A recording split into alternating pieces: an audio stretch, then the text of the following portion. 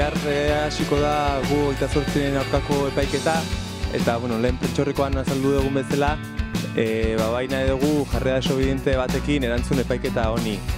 Batzuk, bueno, Madrilikan egin goituzte eta epaiketa bertan ekimen desobedientea, baina beste batzuk erabaki dugu hemen gelditzea eta hemen loiolako basilik aurrean askegune bat e, sortzea. Orduan, ba, bueno, ja goizu izetikan ari gera gauza montatzen, e, orain bazkaria ja erbideak hartzen, ikusten duzun bezala ja guztia apaindua dago.